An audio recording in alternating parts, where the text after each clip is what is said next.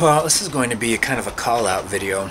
Um, what I'm interested in is uh, what do you do that uh, makes you lose track of time? What do you get immersed in?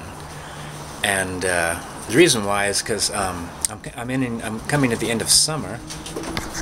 Oh, get a spider web on you, huh? There you go. Um, coming in in the summer, and I, I have a lot of different things that I get immersed in in summer.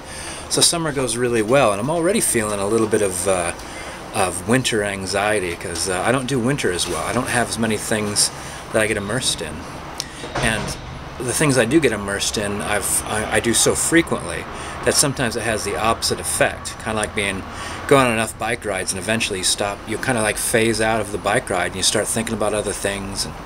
Um, it's not as new as, and fresh. So I have some ideas. Like I think that uh, getting into astronomy uh, might be uh, immersive. Um, learning a foreign language. Um, but and sometimes I find myself like wanting to like buy things or uh, or like like sometimes I think oh rebuilding a tiny house would be fun, but it's not necessary like it's not necessary for me to buy something. It isn't necessary for me to rebuild a tiny house.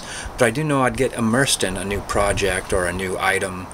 Um, and so I'm almost kind of paying for something I don't need just because it might give me what I want which is to be immersed in something. So yeah. So yeah what, what do you do? What does it for you